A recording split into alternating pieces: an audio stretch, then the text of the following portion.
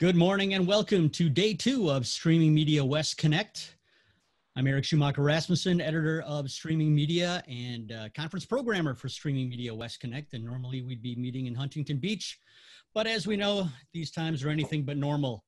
I'm coming, for, coming to you from my home in Wisconsin, which, along with the topic of this morning's panel, explains the Charles Woodson jersey, carrying the G wherever I can. Uh, and of course, the upside of meeting virtually is that people who may not be able to attend in person or speak in person uh, can do so online. So we've got a great week of panels and presentations uh, coming to you the next couple of days. We had a deep dive into CMAF yesterday, and we've got a look at WebRTC later today if you're into the technical side of things. And we've got panels looking at live streaming, ad tech, and all manner of angles of looking at the OTT market, as well as, of course, this morning's panel on sports and esports. And things continue next week with the Content Delivery Summit on Monday and several deep dive technical workshops that you'll want to check out if that's your thing. Before we go any further, I'd like to thank our Streaming Media West Connect Platinum sponsor, Limelight Networks, and we've got a brief video to share uh, with you from Limelight. Steve, you want to play that video?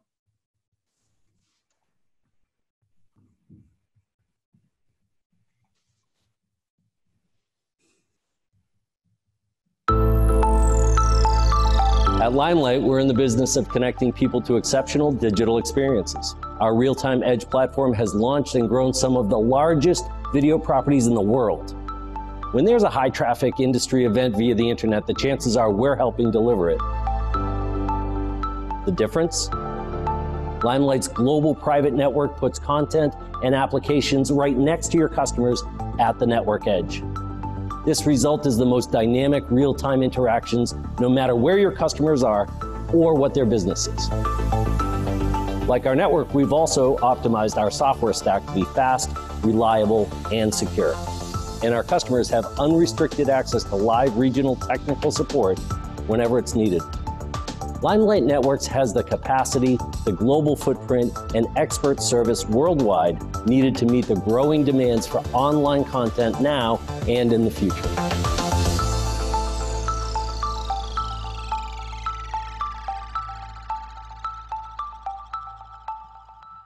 I'd also like to thank the sponsor of today's panel, Xilinx, and Xilinx's Sean Gardner uh, will be joining the panel today, uh, along with our other speakers. If you have any questions during the panel, please submit them in the Q&A tab at the bottom of your Zoom window, and I will relay those questions to the panel uh, throughout the discussion and after the discussion, after the discussion is over.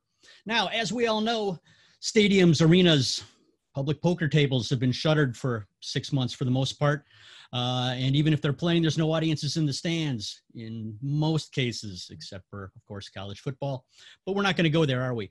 Um, but whether it's niche sports, esports, or sports related content that exists outside the games themselves, there's never been more of a demand for live sports content and there's never been more live sports content available. And that's what we're going to focus on for the next hour. As I said, we've got a great group of speakers coming at it from all angles, and they're going to be led by our moderator, Jeff Jacobs, who's a bit of a legend in live streaming and has been streaming live sports, live entertainment uh, for years. And these days, he uh, he's with a brand new startup uh, called Venn TV, which he describes as MTV for esports. So I'm going to pass things over to Jeff and let him take it away and introduce his panelists. Jeff. Thank you, Eric. Uh, it's our pleasure to speak today about uh, one of the most controversial, disruptive forms of content. No, of course, we're not talking about last night's debate. Thank you. We're all, we're speaking obviously about uh, esports and sports streaming, and uh, today's panel uh, has a terrifically assembled group because, unlike sometimes in a lot of panels, uh, we've got a great diverse set of speakers today and panelists. We've got the. Uh, I'm glad to say we've got the. Uh, we've got the enabler. We've got the end user. We've got the creator. We've got the producer, and we've got the distribution and streamer. So we've really got the full diverse 360 um, food chain of esports and or sports streaming today. We're very lucky. Um, gentlemen, welcome. And again, as Eric said, thank you. Uh, let's go around the horn. Uh, tell us who you are and what you do, let's go alphabetical order and start with Aaron. Uh, I'm Aaron Nagler. I'm the co-founder of CheeseheadTV.com, which began as a WordPress blog that my dad and two friends read uh, over a decade ago and has grown into a digital brand. It's a one of the most popular destinations for Packers fans on the internet. Uh, my co-founder is a legend in his own right in the live streaming space. He's been live streaming stuff basically since uh, the year 2000 and maybe even a little bit before. And those two passions of ours have collided and really for the last couple years now really grown in that live streaming space. Um, it's it's a digital lifestyle brand really more than anything else as these things continue to grow obviously as we mentioned before there's no crowds so we're bringing that crowd feeling on the internet uh, for packers fans worldwide hmm. welcome aaron sam Great to be here. Um, I'm Sam Asfahani, CEO of OS. Um, previously, I was with the NBA for several years. Had the pleasure of crossing over with Jeff and, and working there uh, as a producer, developing their NBA 2K League offering. I uh, was the executive producer and head of content there for season one on the NBA's um, fourth league, as they like to call it. Since then, left and formed OS. OS is a um, industry-leading production agency. Uh, we're servicing the likes of the NBA, a vast amount of sports client, NFL, MLS, pretty much all the major sports leagues. Uh, but then heavily into gaming as well, with uh, publishers uh, such as Activision Blizzard, 2K, um, teams such as uh, 100 Thieves, uh, Minnesota Rokkr, Washington Justice, uh, and then more and more so brands that are really trying to understand how to um, activate with uh, online streaming and gaming. Um, we have a huge relationship with Anheuser-Busch, with Amazon, with Nike. Um, so a lot of that is how we integrate their brand and in an authentic way into live streaming uh, and the wider gaming world. And we are based uh, out of New York City. Welcome, Sam. Sean? Good morning. Yeah, Sean uh, Gardner. I'm the uh, market uh, development and strategy management uh, at Xilinx, located here in uh, San Jose, California. Um, Xilinx is a semiconductor company.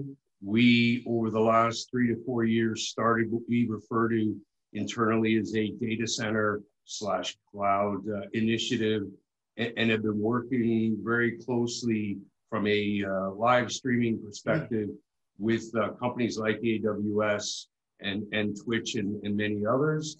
And um, our technology is, is interesting and different because what we focus on are applications where low latency becomes critical and also programmability. So all of the new technologies that are coming out, uh, things like AV1 are are things that uh, we've been working on and developing.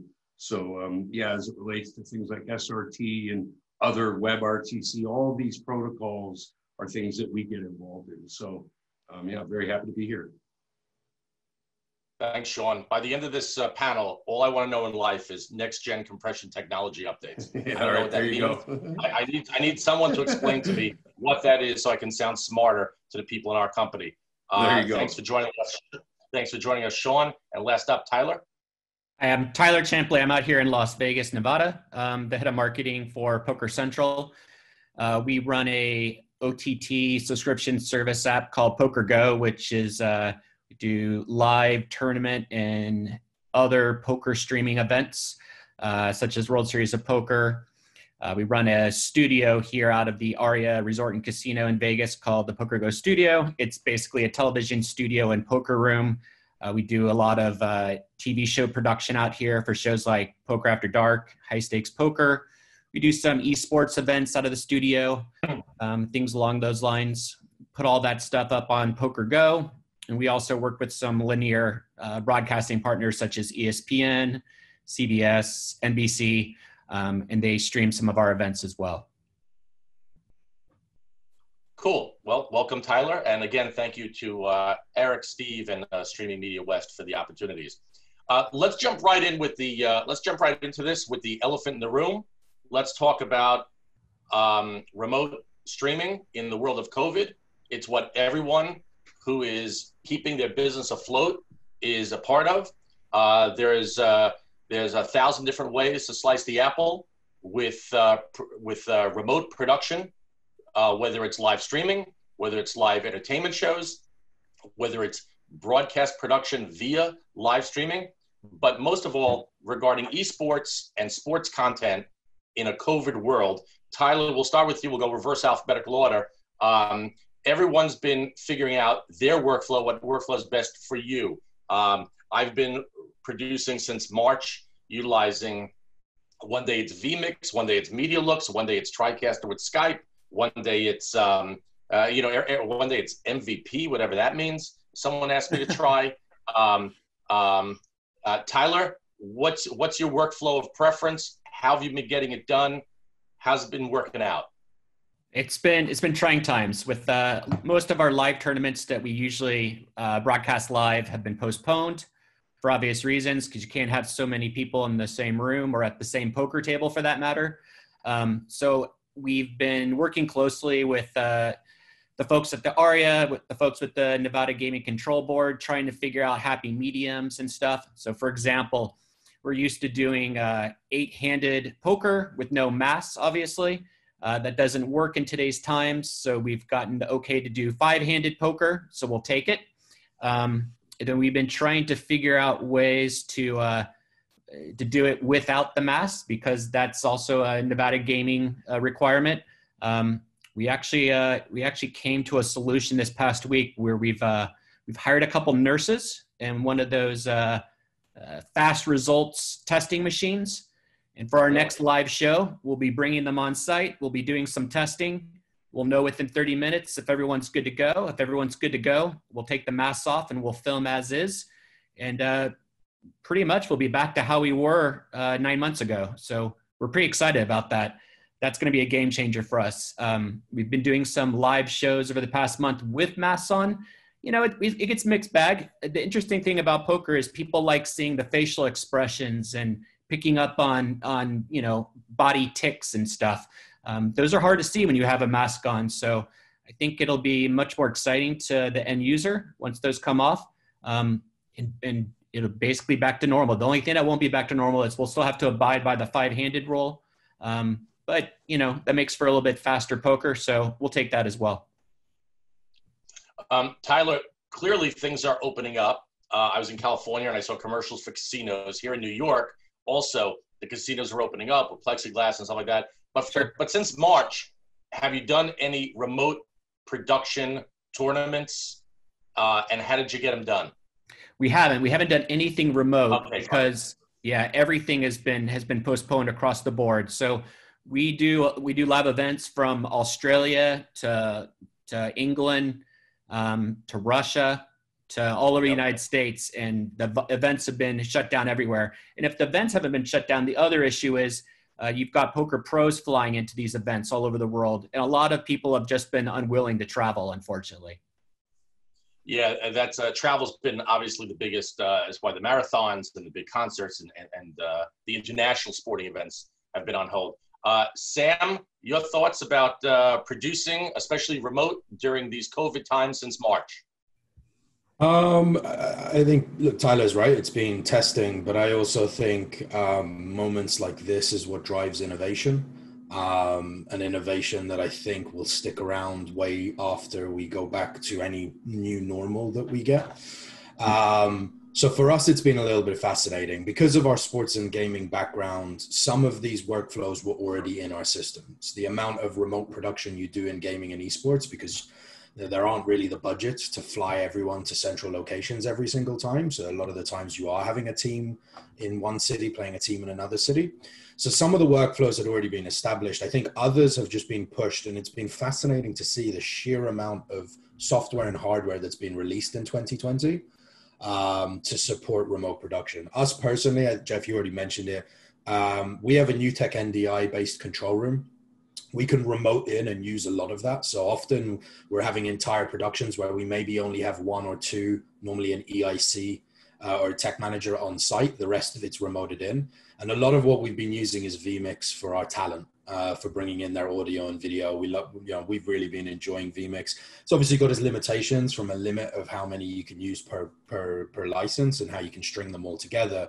But ultimately, what I've found exciting, a silver lining to an otherwise very dark situation for, for not just our industry, but the country as a whole, is the innovation that we're seeing and then you you mentioned so many that didn't exist last year in your intro to this question that have been released this year so for for that, um, uh, we've been we've been um, fascinated and are continuing to push uh, push the boundaries using uh, a lot of the systems that you mentioned.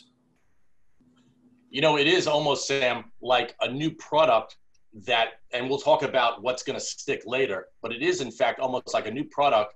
A a streaming producer will be able to offer a client in the future, hey, I need this produced. Give me a bid well, I can give you the I can give you the six hundred thousand dollar operation on site. I can give you the two hundred thousand dollar remote.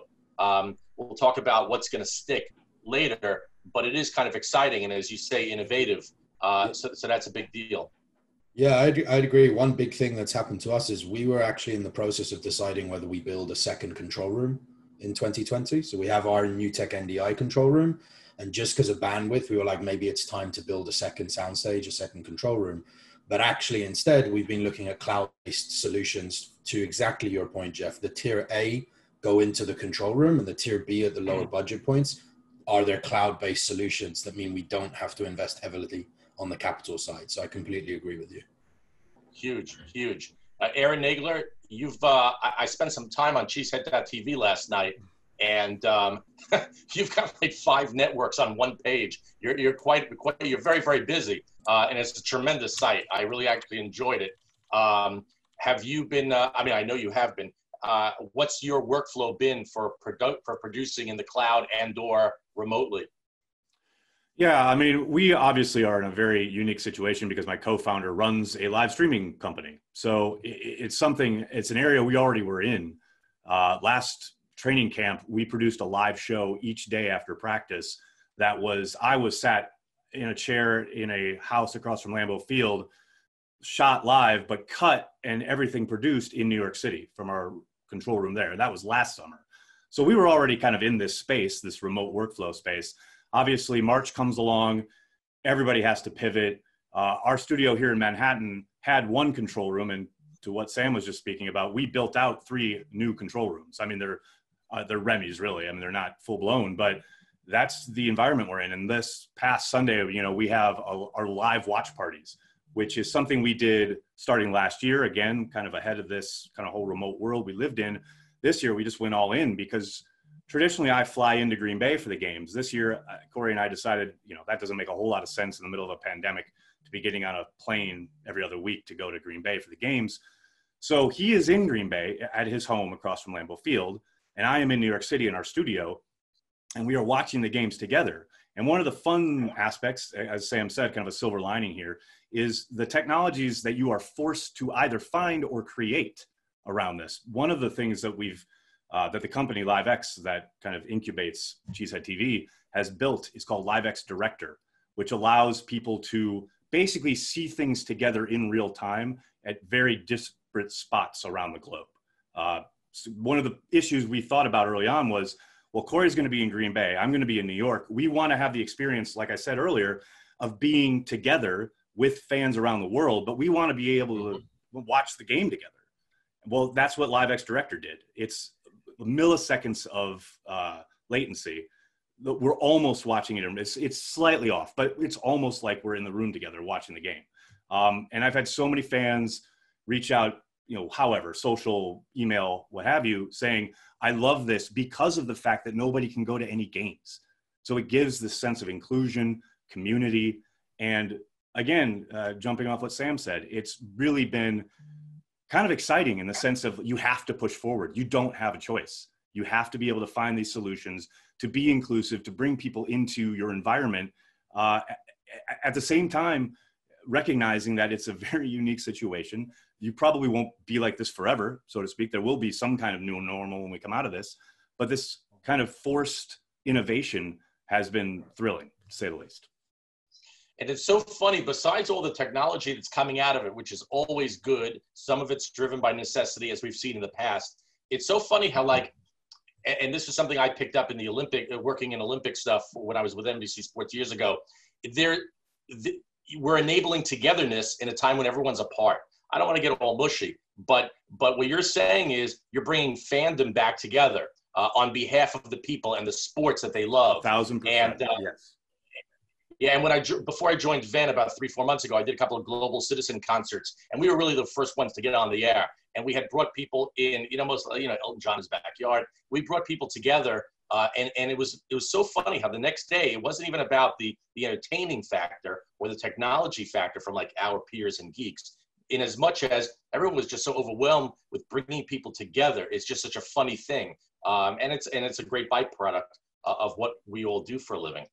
Jeff, Um, it's great that you mentioned that. I just wanted to give a shout out quick to that. That con- those concerts were so instrumental in like not only like you talk about bringing people together. It's so funny that my daughters talked about that, and that's like an aspect of streaming that they don't even recognize. Okay, there's this huge technology play behind it, but that sense of community. They were talking to me about that concert the next day, not knowing like anything about how it was produced, and that's the whole point of like I think what sports and esports that's the exciting aspect of all this. Like, yes, it's horrible why we're here, but this idea that these technologies can like maybe find friends and companions and people who have like minds that you never would have been in touch with or never would have spoken to about. Uh, that to me is the most exciting thing about being in this space right now. Yeah, musicians are a pain in the neck. Stick with sports. Fair. Go on. Hey, no, it's just the multiple tracks and, and the audio. Hey, uh, I'm kidding, I'm kidding. Hey, Sean, you are in fact the enabler, and everyone loves the enabler because Yeah. you make stuff happen. You make stuff happen, and you're the most popular guy when things go wrong, and especially, probably in your case, when things go right. Tell us about what your company do- has done. But again, we're talking, we're addressing the elephant in the room, which is COVID. Tell us about what your company did to step up to enable producers like these during these times. Yeah, so I, I think probably um, you know a year ago or or maybe even longer, we started looking at you know because we're also involved with things like 5G, and with 5G comes an ultra low latency aspect, and so we could see that at some point there's going to be the ability to um, reliably have some kind of remote production and being able to um, do or, or virtualize some of the things that we typically have had in hardware. And so through uh, us directly and through partners, we, we started working on this, but it, it looked like it was going to be a long time ahead. So we thought, oh, you know, we'll keep working on it as things mature. Suddenly COVID happened. A- And I agree with everyone who's, who's mentioned this, that, that fundamentally what we would have seen a technology adoption life cycle that maybe would have taken two years is suddenly now shrunken into months or at at least a quarter or two. So um, from our perspective, th- enabling things like, you know, kind of remote uh, cloud-based production is something that we've been working on. In addition to that, I'm working with some of the, the large sports leagues and, and them wanting to be able to engage fans um, that's another big thing we're seeing going on right now watch parties. But then what if we layer something like uh, micro betting or gambling? Because there's many states now that are starting to, to open up in, in that area. And so I don't think we're, we're just yet there, but that's, ex- that's 100% where we're going. And, and we're, we're working with partners and other companies to put much of that infrastructure in place and, and where we get involved is either at the pixel level processing, making that happen in, in low latency on the networking side.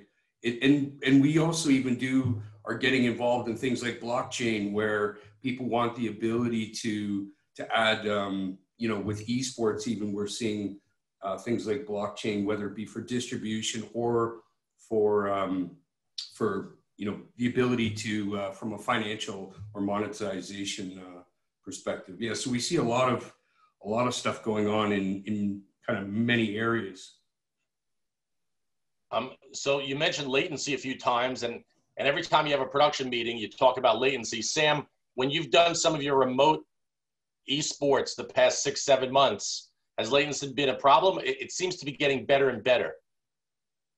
Yeah, yeah, definitely, definitely getting better. I think um, we're continually looking. There's there's two different um, types of latency that we're struggling with in esports. The first one is the um, the game, the competitive gaming side of it, the end to end, which obviously we have no control over. It's completely affected by the servers of the publisher and how close to the servers and how much ping. That's something though you have to factor for in production from a storytelling standpoint because it's something new that historically you didn't get. So that's the gaming side of it. Then on the production side of it, you're you're absolutely right, Jeff. As things got developed, it's been getting better and better.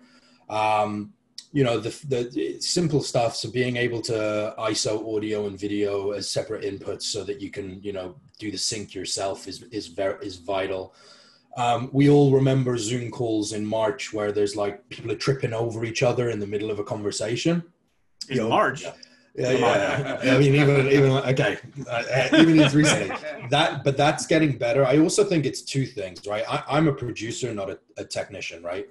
One, the technology's got better, and my my tech managers would talk about that for hours. But two, talent and on-air talent is getting used to it, which is far more important to yeah. me than anything else.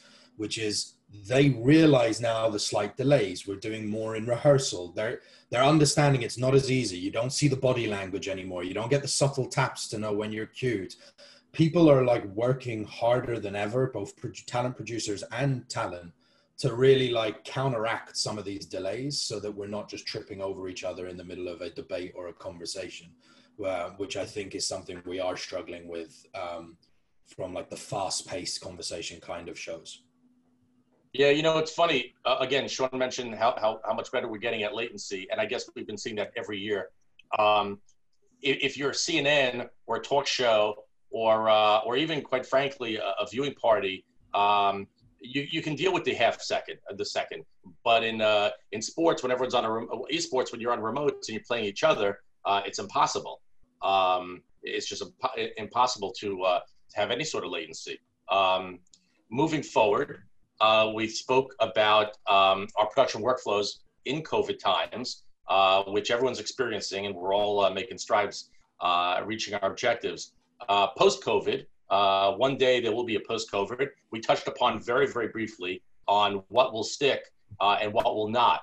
I think it's exciting that these new opportunities that some of this new innovative technology affords us. Um, I'll make this as brief as possible about eight years ago, maybe, when I was still at MTV Networks uh, working for Viacom, um, my world was always trying to get my production world into file-based production. Uh, we were trying to get off of tape so badly, and we were and file-based was was just normal already by then.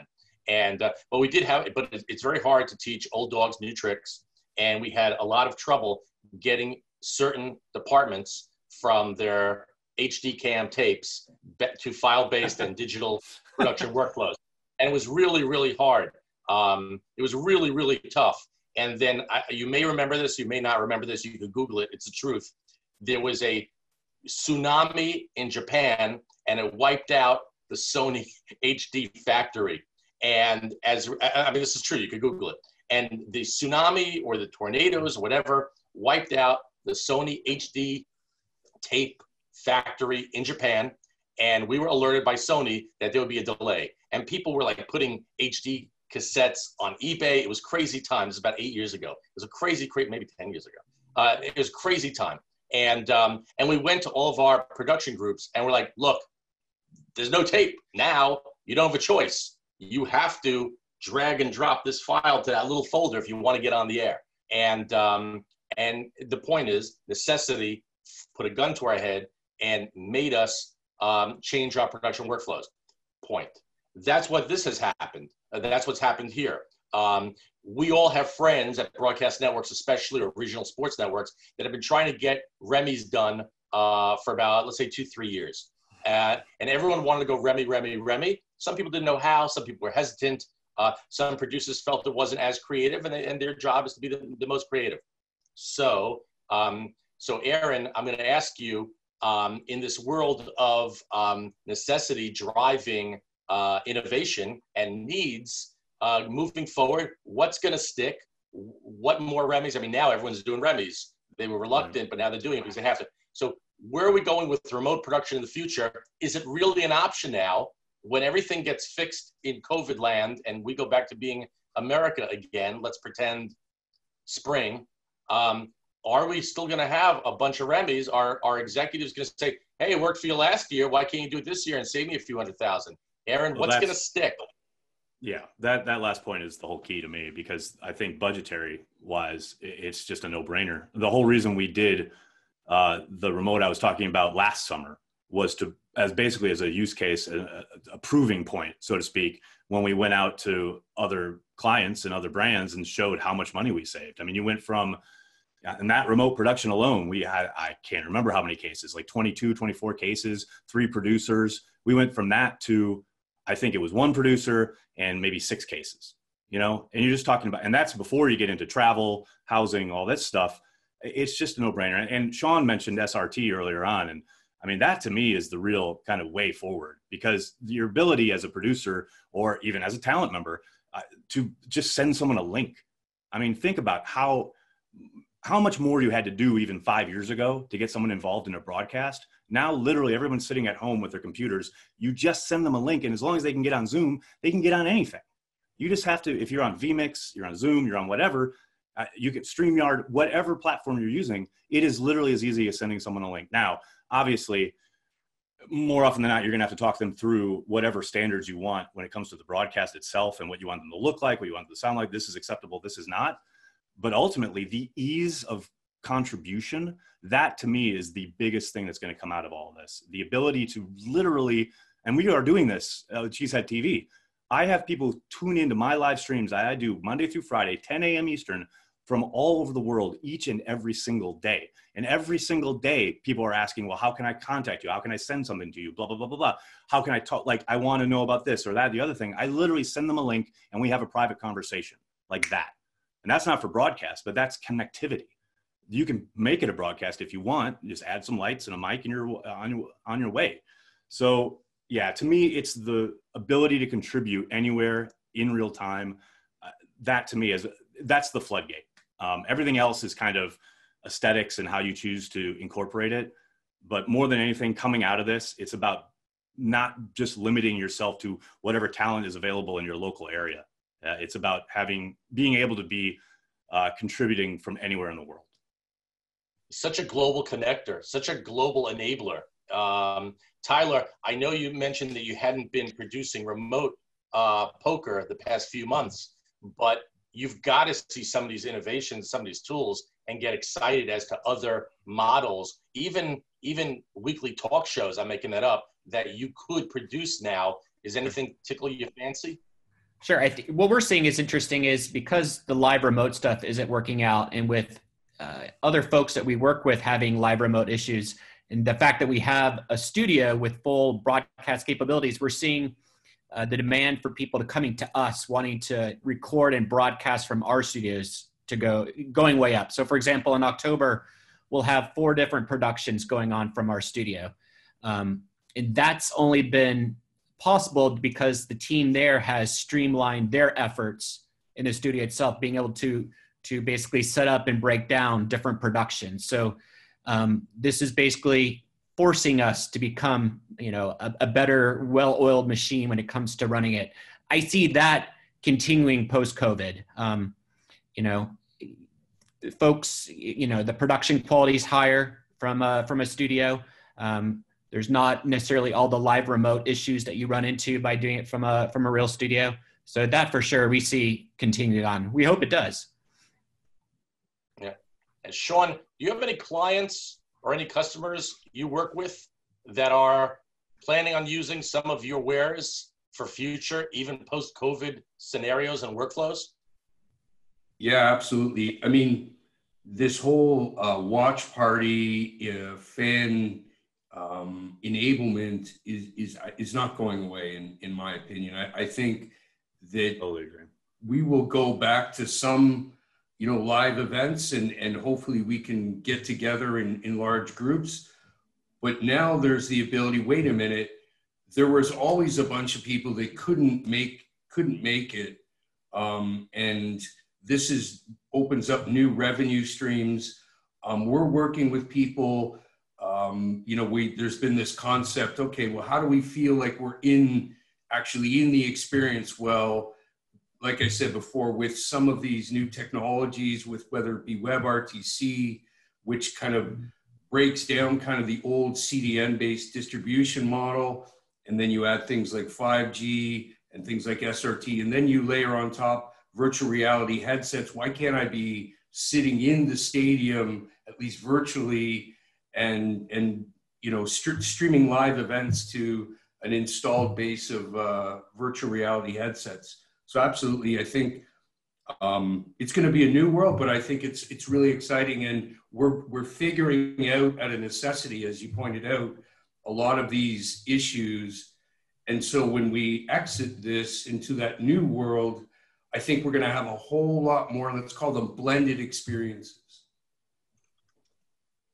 Sam, we talked earlier about um, the fact that live remote production is like another product for people like you. Uh, it has been for me too. Uh, um, what do you think is going to stick? And are you prepared a year from now when things are back to normal to offer remote as another way of producing? And not, not by the way, not only for less expensive costs, but also for global reach. Sam? 100%. We are registering it as a separate revenue line. We actually market differently to live production because um, it is a different process, different team. We care about it. Our analysts care about it. Our investors care about it. And I, I don't think it's going anywhere. I think I think that it's going to have two major effects. There's a lot of hybrid models, right? Sending like small fly packs and then linking them back to a central studio there's going to be a development of more hybrid models going forward. But i think there's two things i'm going to step away from the technical for a second. I think there's two business things that are really going to change. The first one is when covid hit we in our world specifically we suddenly got thousands of new on-air talent. Athletes athletes became hosts musicians became gamers. It was fascinating to see because their daily lives which they used to not be able to slot things into just all got screwed up. And then now you have these guys um, realizing that they can be on air talent from home. And where it used to cost me an NBA player $20,000 in fees and travel business class and a suite in a hotel, now I can pay them 5000 for two hours from home because they're not leaving their house. So that's not going anywhere. They're going to see this. Athletes and musicians are going to see content as a second revenue stream, whether as appearance fees or owning their own content.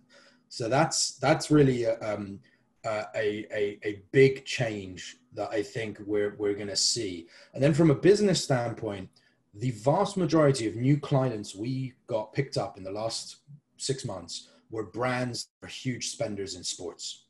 They are brands that suddenly had event dollars reallocated to content. Now, the real, what you're starting to see now is did they get a return of investment? They are normally getting an impression for much lower than they get from a physical activation in a sports arena. Um, but are they getting actual conversion to loyalty, conversion to purchase, and ROI on it? Over the next month, I think we're really going to see some of that pan out. And all you're going to see in 2021 when when sports continues to come back is maybe a more split marketing spend from some of these brands where they put some of it back into sports, but actually they're going to say, you know what, we had some success in 2020. I'm going to set some of this aside and I'm going to keep it with content. I'm going to keep it with live streaming. I'm going to keep it with gaming. That's the business thing that I think is actually going to stick into 21 because people have seen success from their reallocation of dollars. That's good. That's really good. I, I also I like I like what you said. This whole remote production really enables and puts some of the creative in the athlete or the host's uh, hands, and that's a big, big, ginormous change uh, from what it's been. Uh, I guess in theory, any athlete, any host, any talent, any potential talent could now be a host and a producer from their home, which is a double-edged sword, by the way. Um, True. True. Um, yeah, you know what? We have a couple, we have a few questions. Jonathan Hessing is asking Tyler. I assume he's one of Tyler's engineers from back home. Jonathan Hessing is asking Tyler, what are some live remote issues you see when done remotely? I mean, we're talking about how great everything is. We've already addressed latency; has been a lot better. Tyler, what are some live remote issues you see when done remotely and not in the studio? Sure. The only the only one that consistently shows up is if there's any ever an issue with the feed is trying to pinpoint if it's coming from the source or or because we usually we bounce it uh, from the source to our studio and then you know through our OTT platforms. It's just pinpointing where that where, where that originates. Um, and then dealing with our remote crew, uh, it can be challenging too, uh, time zone wise and and stuff. For example, for broadcasting something from Australia uh, you know, it's it's just it's just it's just challenging, I guess. You know, working from afar that way. You kidding me? I got Yeah. enough trouble from New York to Green Bay. I can't imagine like like locking in with Australia. No thanks. Al- al- Although I, I have to tell you, having done quite a bit of live remote shows uh, in the past seven, eight months, for me, no matter what you have, you can have a TriCaster on top of a TriCaster on top of a vMix. No matter what you have, um, you're only as good as your remote's Wi-Fi, and you're only as good as the. You know what? I'll say it this way: the technical capabilities of your guest, because celebrities and athletes don't have their PR people with them like they normally would. Easy. And and we've all done this, I'm sure. Um, you're speaking to someone, maybe it's on a Zoom beforehand, like a pre-call, and you're you're oh, did you turn the oh you can't hear me? You can't hear me? Did you did you turn it up? Did you press the link after you put the headset on? Or can you shut the um, I hear a hum. Is that an air conditioning unit in the background? Or can you shut the blinds because the glare is killing me? Um, but even if you can get through all that, when their Wi-Fi is bad, when the when the cable modem Wi-Fi is in a den and they're in the kitchen or in the basement, um, you're really you're really screwed, and you're only as good as your participants' Wi-Fi. Sure. Um, yeah, and, and I've sent and I've sent uh, and I've sent you know uh, MiFi's or whatever they're called nowadays. I've sent these out to people as well when it really mattered. But you, you get the point. Uh, on to questions, just because there's a bunch of them. Jody Weaver uh, is asking the group some technical items. Uh, I'll just go for it and someone jump in. Um, uh, is it possible to get universal video video spec for global distribution? The FPS and mono versus two channels seem to be a challenge within certain regions. What is your recommendation? Jody also asks uh, file distribution hints. Uh, anyone want to say something about that?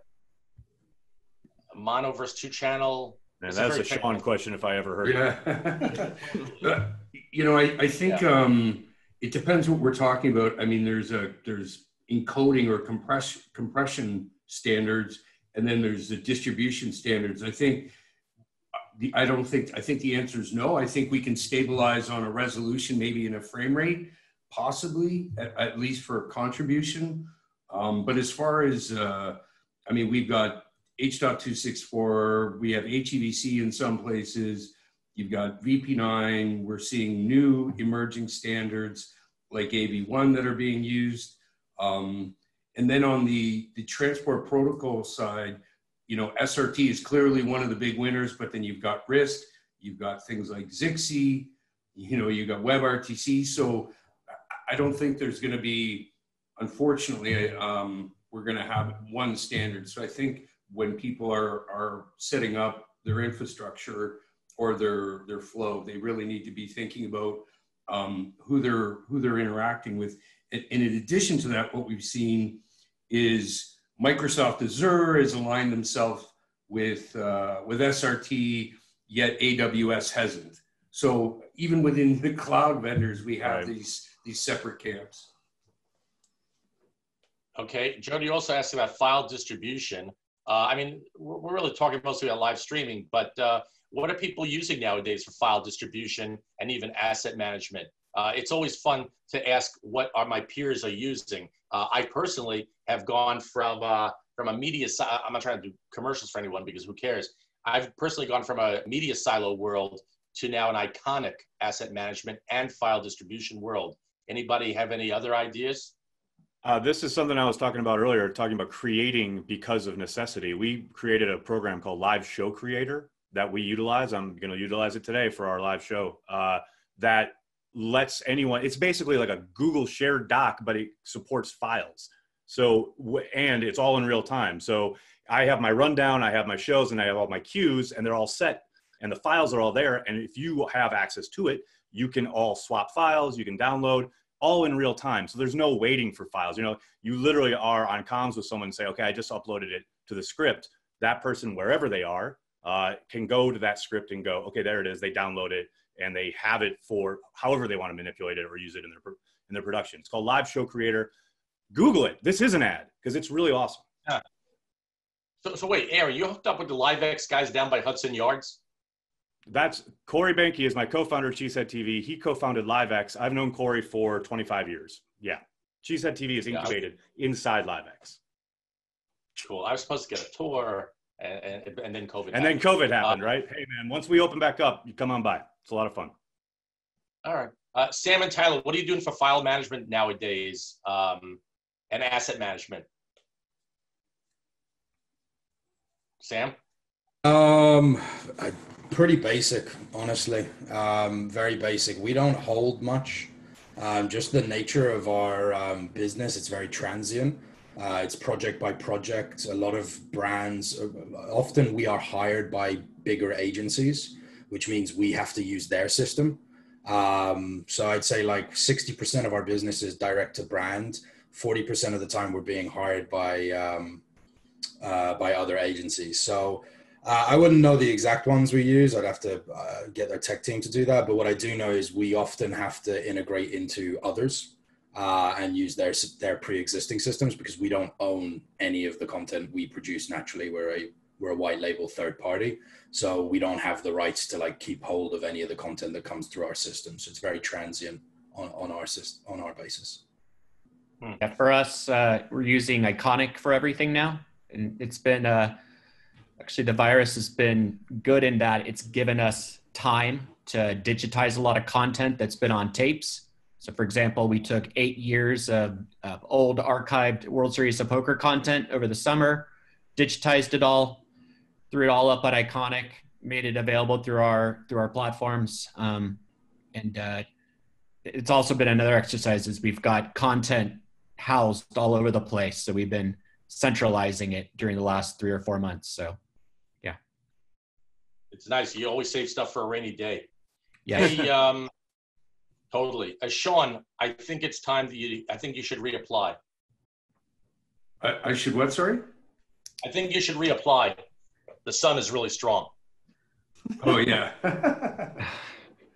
Thank you. I'll be here all week. Hey, um, hey, so let's close this up and talking about where, you know, I'm reading this thing from the brochure, where the puck is going. So esports, but from a production point of view and, um, and sports streaming from again from a production, production workflow, programming point of view. What's on the horizon in the next five minutes? What's on the horizon? Where are we going? What's exciting? Uh, you know, I read an article yesterday about esports in uh, esports daily, whatever it's called, about Europe. Europe is obviously on fire. It always has been, especially west, not east. Um, and, and, the different regions are all embracing their esports and their sports programming uh, in different ways. Um, somebody jump in tell me what's on the horizon for our our industry. What's on the horizon for our profession? What are we excited about? To um, me it's something that sean mentioned earlier in regards to the integration of and this is something we've started to do with our app uh, where you're gamifying the stream right?